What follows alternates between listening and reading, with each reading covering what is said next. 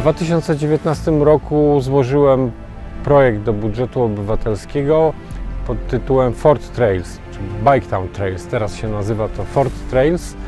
E, To był projekt bike parku, który miałem w głowie od 2006 roku. Staraliśmy się to zrealizować e, przez wiele lat.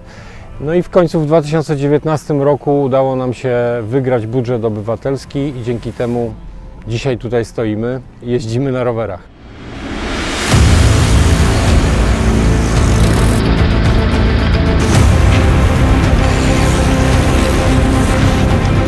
Tras jest sześć generalnie w całym kompleksie. E, Są e, o bardzo zróżnicowanym, zróżnicowanym charakterze, każda jest inna.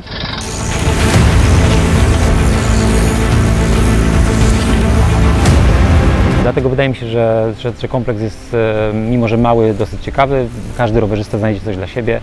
E, Można stopniowo m, e, jeżdżąc po tych trasach e, m, poprawiać swoje umiejętności, bo one są takie troszeczkę progresywne powiedzmy w swoim, swojej trudności.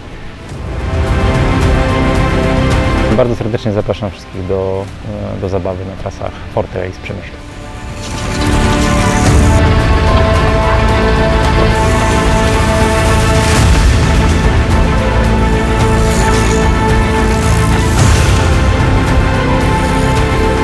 Dzięki inwestycji, jaką jest Ford Trails, budowa ścieżek rowerowych w przystoku narciarskim w Przemyślu, e, Przemyski Ośrodek Sportu i Rekreacji bardzo wzbogaci swoją ofertę, nie tylko zimą, ale również latem. Będziemy dostępni, będziemy e, otwarci i będziemy zapraszać wszystkich turystów latem na ścieżki rowerowe.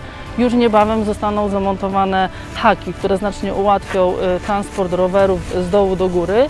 Też niebawem będzie otwarta e, dolna kolejka, która umożliwi parkowanie na dole i szybkie przedostanie się e, na górę.